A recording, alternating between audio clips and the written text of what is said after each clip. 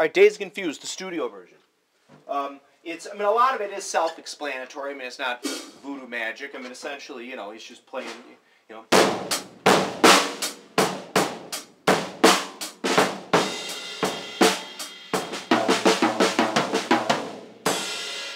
that's essentially it. You know, at some point, at some point, it would be great if I could get. I'm gonna get myself a Mac laptop and a maybe a better camera and maybe a couple condenser microphones and stuff. But in any case, for now, and then of course, work somehow work out where I can play along to the Zeppelin tune. I think there's a way on YouTube now to put some sort of a legal boilerplate, say this is for educational purposes or whatever. But anyway, we're all familiar with the studio recording of Dazed Confused. If you're here, you're probably like, "Wow, I'm going to play with my band." And I just, what's that one little thing he does? All right. Well, the song kicks in.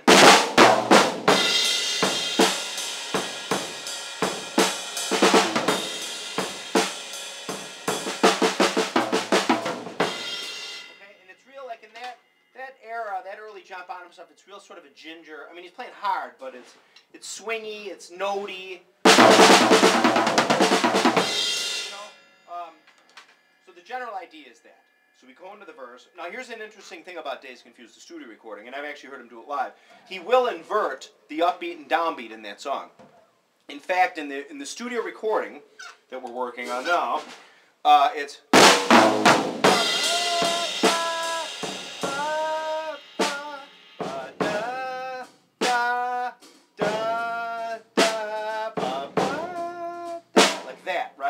Okay, well, you'll notice if you listen to the recording that um, in the second verse, most of the second verse, the second part, and of course the last verse and the last part, the snare is on the is on the upbeat.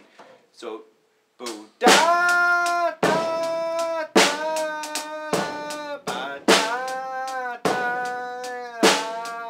da, which is interesting. I, I personally think that they probably just learned the tunes real fast, and I don't think Bonham was necessarily thinking about it, and he just went ahead and you know whatever he played at the time, that's what he did. Um, it is possible that maybe you know when the screaming guitar kicks in, maybe he did that purposely there. You know that real you know cool sounding um, Jimmy Page, uh, the riff he does before the verse kicks back in. In any case, just so you know, I um, I think when I when I would play with the Zeppelin band, I forgot what I would do. I think I would play uh, the upbeat without even thinking about it, just because you hear it on the recording, coming uh, on that screaming guitar part before we go into the second verse. But in the second verse, in my, if I remember, now bear with me here, I'm 42 and my memory isn't all that good. Um, God, I'm 41. I remember that I'm 41. Um, but really, though, I think on the second verse in the studio recording, he is playing the snare on the on the upbeat, not just on the guitar lead into that.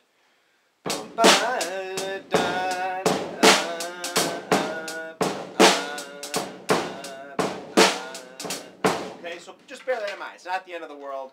You know, however you want to play it, but even he switches it up.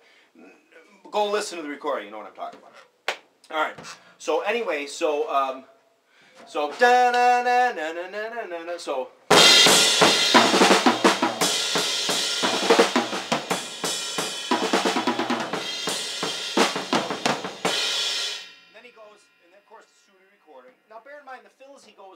All pretty much variations of the same thing.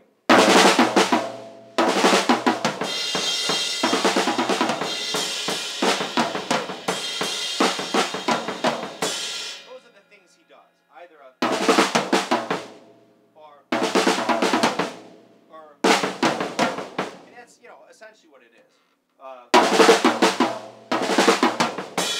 that's what that event later on in the s- Song Remains is saying. Kind of comes from that. Anyway, that's a digression. Anyway, so then he goes into that, and now we're into the do do do do do.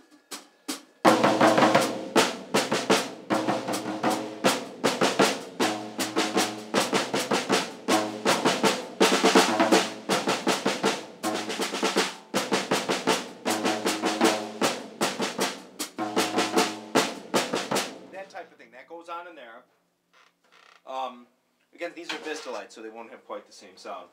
Uh,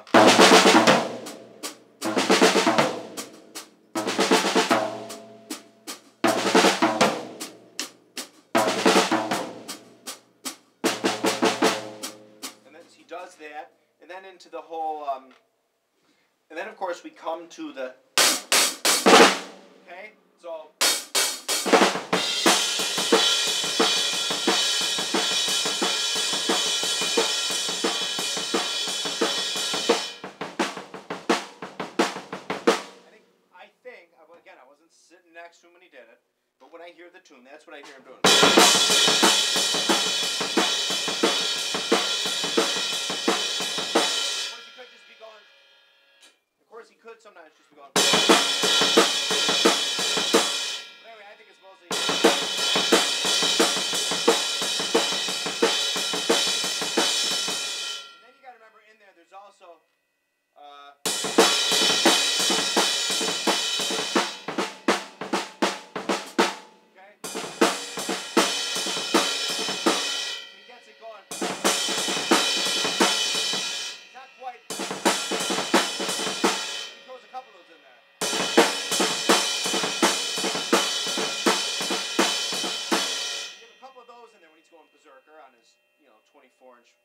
Actually, probably on that recording, I was probably a 22. Could have been a 22 in Zildjian. You never know. Um, but let's say it was his 24 inch giant beat. Um, uh, so then, he- so then, the, ah, so then we get into the grandpappy.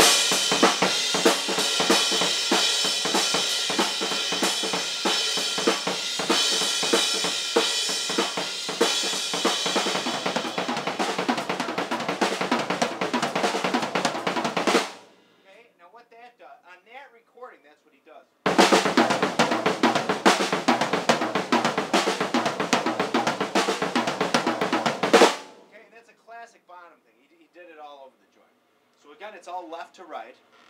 And by, by the way, and I will address it in, in the in the song remains the same version. A lot of the live versions, he was really tired. He was playing like three-hour shows or whatever, and he'd just be like.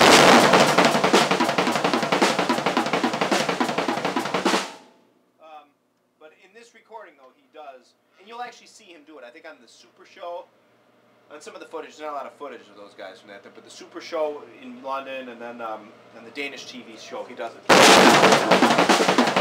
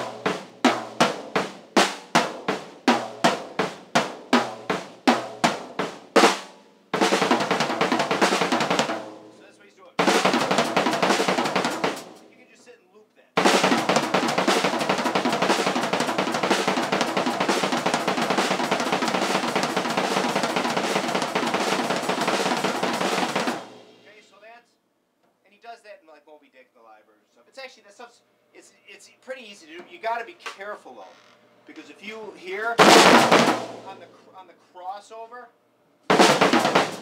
in there, like in that near missy O'Hare Airport air traffic control near miss stuff, if you crack your knuckle with the stick, it's gonna hurt a lot. And if you're playing a show, you better be good at like taking pain. You know, like a boxer who gets like his wind knocked out. If he collapses, he's gonna get his arse kicked by the other guy. If you're playing a show like that and you hit it, that's one of those real bone agony things.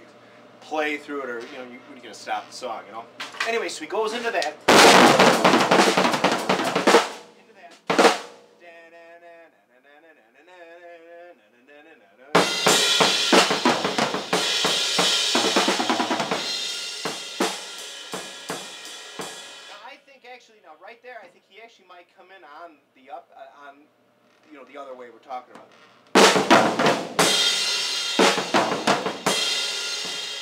Yeah, he does. He goes.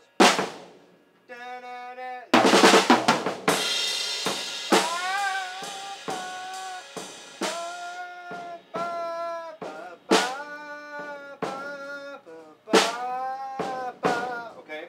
And I think that even live in the song I mean, it's the same he does that too. Maybe he does it on purpose because it, it fits in there there. So uh, Yeah, you know, and that's why because the downbeat after it's time wise. Da da da da da da da da. ba.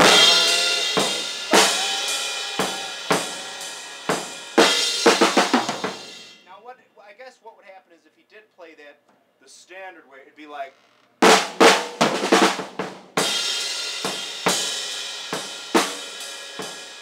So you'd hold off one. Anyway, neither here nor there.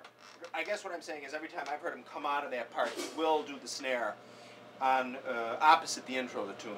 Again, like I said 500 times.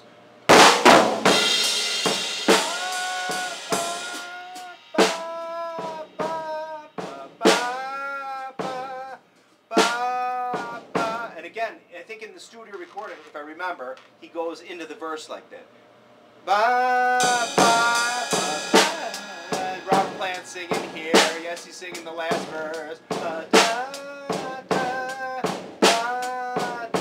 Um, live on the on the on the on the on the Song Remains is singing. I think it Song Remains the same version live. I think at that point he switches it back around to the.